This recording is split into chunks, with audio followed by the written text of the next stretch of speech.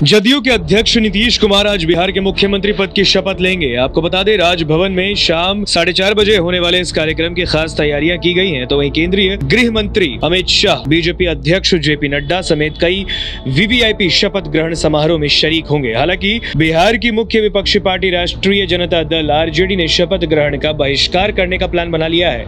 RJD सूत्रों का कहना है की ये जनादेश नीतीश कुमार के खिलाफ था और शासनादेश से ये कठपुतली सरकार बनाई जा रही है। आरजेडी जनता के साथ है और जनता की मांग पर तेजस्वी या उनकी पार्टी का कोई नेता आज शपथ ग्रहण में शामिल नहीं होगा। इसके साथ ही तेजस्वी यादव उन पंद्रह सीटों पर कानूनी कार्रवाई कर रहे हैं, जहाँ उनका आरोप है कि उन्हें हराया गया है। आरजेडी ने ट्वीट करके कहा है राजद शपथ ग्रहण को बॉयकॉट करती है।